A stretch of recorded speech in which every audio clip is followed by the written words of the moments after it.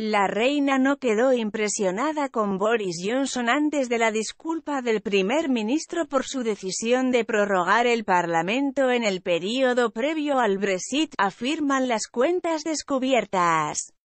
Hoy, el señor Johnson abrió las preguntas del primer ministro en la Cámara de los Comunes elogiando el reinado histórico de su majestad antes de su jubileo de platino. La reina Isabel II conmemorará este domingo el 70 aniversario de su ascenso al trono. El tributo de Johnson a la longevidad del monarca contrasta con su disculpa a su majestad el mes pasado por el escándalo en curso de Partygate. El primer ministro se disculpó después de que los periódicos informaran que se celebraron dos fiestas en el número 10 de Downing Street la noche anterior al funeral del príncipe Felipe el 17 de abril del año pasado.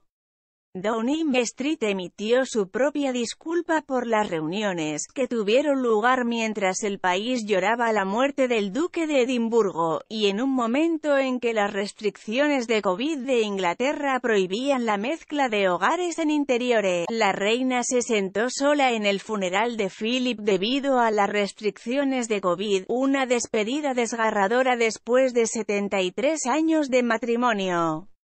Johnson también se disculpó personalmente, diciendo que lamentaba profunda y amargamente los hechos y asumía toda la responsabilidad.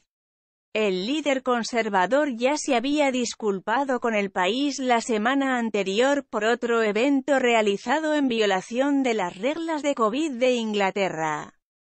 En esa ocasión, Johnson admitió haber asistido a una fiesta de tragos en el jardín de Downing Street en mayo de 2020, uno de varios eventos que ha provocado llamados a su renuncia.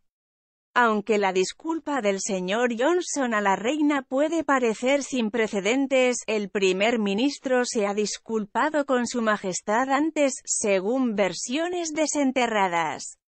En el punto álgido de los esfuerzos del gobierno para obtener su acuerdo Brexit a través de la Cámara de los Comunes en agosto de 2019, Johnson ordenó que el Parlamento se prorrogara por cinco semanas.